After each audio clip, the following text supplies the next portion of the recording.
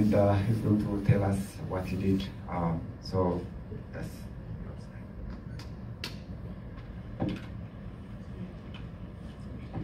All right, hello everybody. Um, so my name is Abel Dagne, and um, so for Yes or Youth Empowerment Services, we were I was assigned a project to create a website for my church. My church is Darussalam Se Mikali Dublin Orthodox Tewahedo Church, or DSSM EOTC.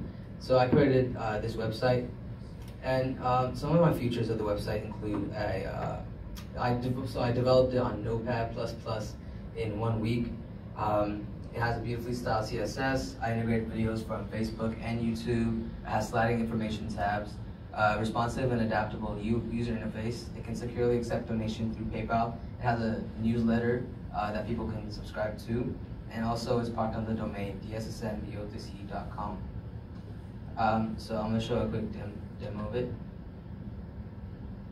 Okay, so this is the website. Uh, so the red, yellow, green, that uh, I created that in CSS using like this gradient software, and um, you can see this logo. I created that also, and this top bar right there.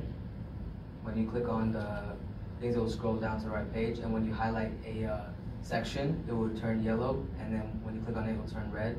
And these icons, you can see the different colors, the all things you can do with CSS is very very nice. And also, this Visit Us button, it will take you to Google Maps, but not only will it take you there, but it'll input the destination of our church inside the, the destination um, tab, and then you can see the embedded video that we can change from Facebook to YouTube, and also the this tab right here, we can slide, so you can show different content here, and for the subscribe, it sends you, a, once you subscribe, you can input your name and your email, and then I can send uh, emails to everyone whenever I want to. And when you sign up for the first time, you'll get an automated email, and it looks like this. Just says hi, thank you for joining us. So yeah, and not only that, but you can also donate through PayPal, and uh, you can donate three different amounts or your own amount, which you choose.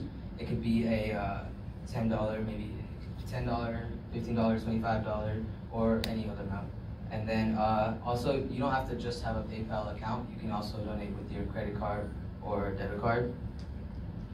And so that's the website. But not not only did I build a website, but actually I have I built a lot of things. So okay, so uh, this was me at a very young age when I uh, first used technology and video. You draw this? Yeah. When? Today, 444. Okay. Looks very nice. And it's live. Now, what do you want to be? Huh? What do you want to be? I'll be a software engineer. When you grow up? Yeah. Okay. I mean, yeah, so as you can see at 444 on that day, I decided to be a software engineer. I started uh, so very young. I was at like around six or something like this when I started this.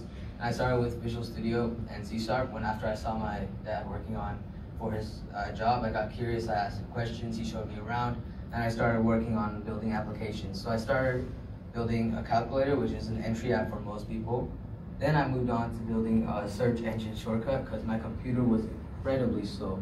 This like Dell would not open Chrome. So then I had to, uh, I created this uh, search engine shortcut where I could click on it and almost really fast it would just go directly to Google and it helped me a lot. And then I also had this uh, camera application that uh, I was uh, young and I decided that I wanted to make this I had a crazy idea.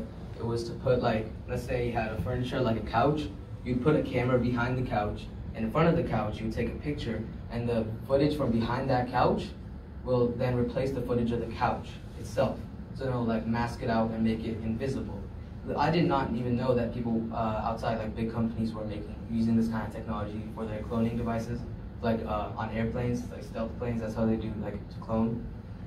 So uh, it was it was incredible actually how young I was. I even created a small prototype out of cardboard and uh, duct tape, but yeah.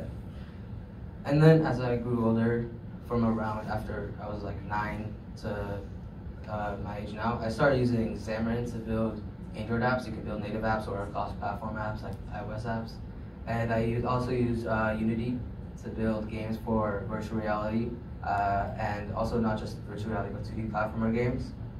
So I built uh, applications such as uh, virtual reality maze because all the mazes that were sold on the App Store were really, uh, you, you know, you had to pay for them like every five seconds. There was advertisements at every corner you turn, so I created my own.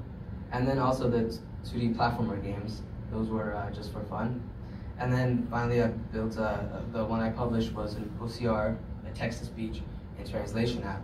So I'm gonna talk more about that app. So it's called PicSpeak, short for Picture Speak, because that's what it does.